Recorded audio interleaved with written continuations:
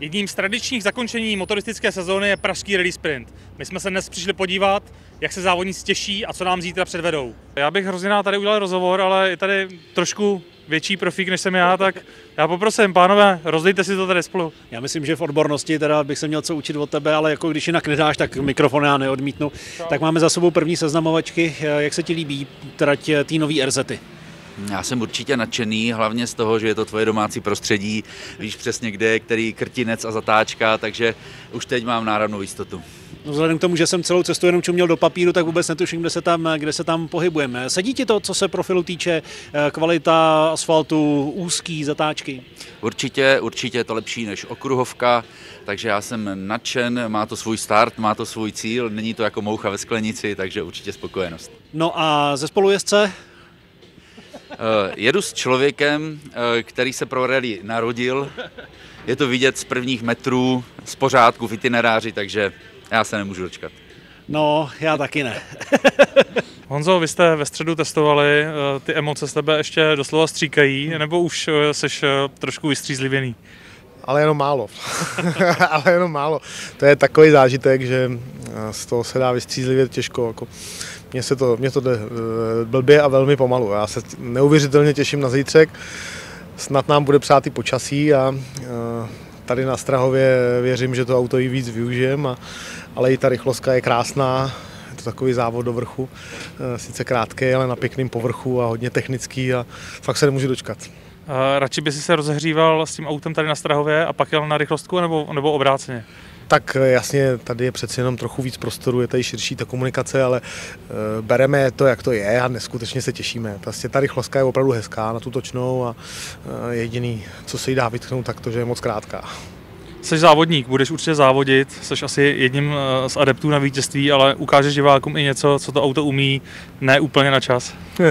to je hrozně těžký, já tím přemýšlím od toho testu. Jo. Prostě blbnout, dělat eh, kolečka, veliký smyky můžeme s autem za 50 ceny, nebo prostě za zlomeček té ceny. Tady s tím je pro mě jako obrovskou výzvou furt zrychlovat a pokusit se jet jako velice efektivně, abych to auto eh, se snažil co nejvíce využít. A to je asi cesta, kterou půjdeme a uvidíme podle toho, jak se to bude vyvíjet. Možná pak někde uděláme nějaký smyk. Neslibuju. Já jsem si jistý, že tady bude dost fanoušků, který ocení i to, že ta auto jede rychle. No, je to pro mě fakt výzva. Jako chtěl bych se zkusit dostat co nejdál a poza volantu a mít co nejlepší pocit jako z klasický rychlý jízdy na čas, abych načerpal jako co nejvíc informací. Díky, my se budeme těšit. Jo, děkuju vám taky. Karle, ty jsi eh, jeden z inventářů tady Pražského rally sprintu, diváky už se tady historicky několikrát bavil. Jak hodláš letos Pražský sprint pojmout, pojmout ty? Tak vzhledem k okolnostem, který moji rodinu potkali v minulých dnech, tak asi úplně super sranda to nebude pro mě, nicméně e, jsem tady, pojedem, budeme se snažit pobavit diváky a pobavit a rozptýlit sebe a, a, a, a udělat všechno pro to, aby jsme nic nevyvedli. Rychle asi nepojedu, ale, ale jsem rád, že tady můžu jet.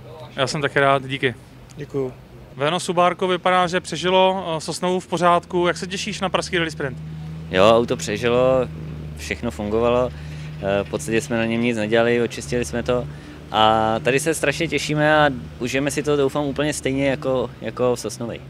Ty tady patříš za jednoho z největších bavičů už historicky. Loni se tady předváděl nádhernou jízdu, to tvoje subo se tady smíká. Jak to hodláš pojmout letos tady v Praze? No, budeme se snažit o to samé jako loni. Eh, protože si myslím, že takové akce od toho jsou. A doufám, že bude počasí a že přijde hodně lidí a, a budeme se snažit je pobavit a tím pobavíme i sami sebe. Já ti moc děkuju a my se těšíme. Taky se těším, díky. Martine, zítra tě čeká start, myslím, že první start eh, ve tvojí kariéře s VRCčkem. Co to pro tebe znamená si sednout do takového auta s takovou historií? Tak znamená to pro mě určitě v podstatě taký menší splnený sen, pretože na tomto aute som vyrastal, keď som bol, keď som mal 11 rokov, tak tieto auta vtedy jazdili a, a v podstate veľmi sa na to teším, bude to krásne.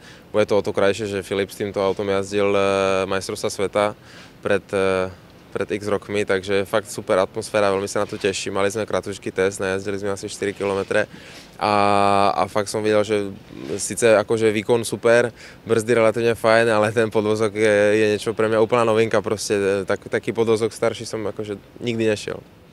Dneska R5 je daleko dál, auto se řídí jednodušeji než tady ten model. Určitě ano, tak verím tomu, že i s týmito autami, keď boli eh, chlapci vtedy veľmi rýchli, jezdil sa veľmi rýchlo a na hrane a v podstate eh, podobný štýl, alebo ten istý štýl ako teraz, tak to auto určite bolo funkčné. A nevrám, že není funkčné, ale je to iné, treba si určite na to zvyknúť, čiže tá presnosť v tom volante v podvozku je, je trošičku iná. Takže zítra to bude maximum time attack, anebo to budou smyky a zábava? Tak ja sa budem snažiť určite, aby sme, aby sme išli skôr na čas a pokiaľ sa bude dať, tak aj zabaviť divákov, ale uh, uvidíme. Vôbec si netrúfnem povedať, do jaké miery sa to bude dariť, absolútne netuším. Pepo, tebe tady v Praze čeká návrat, ale obrovský návrat. Sedneš si do neskutečný bestie, do VRCčka po Honzovi Dohnalovi. Jak se na to těšíš? Těším se moc, ale mám z toho hrozný respekt, protože bohužel tím, jak mládnu, tak nějak mi ta rychlost nepřichází vyšší, takže musím sklonit hlavu a jet tak, abych tomu neublížil, ale uvidíme.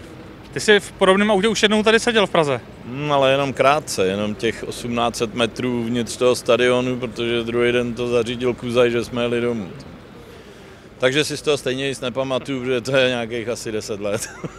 Každopádně po tom testu třeba, co jste měli uh, v Bělí, jak to auto na tebe působí?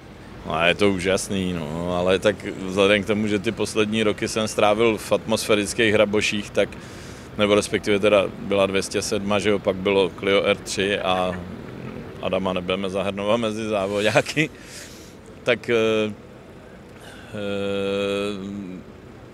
je to diametrálně jiný než ty návyky, které ve mně z té doby zůstaly, takže Eh, překážka prostě dobrzdit s tím správně, nepokakat se z toho, udělat ten smyk, že jo, to všechno bylo odbouraný tou dobou, takže tak nějak ten test byl samozřejmě přínos a strašně se na to těším, ale říkám, respekt a nemůže se ode mě čekat žádný nějaký časy, tak kdyby to šlo, tak aspoň aby umělecký dojem byl dobrý. My se na to těšíme a já si myslím, že Liborovi by se to určitě líbilo. Stoprocentně. Dík. Reportáž vám přinesla Rally for Now. Výsledky, informace, kalendář, průvodce a navigace zdarma ke stažení z App Store nebo Google Play.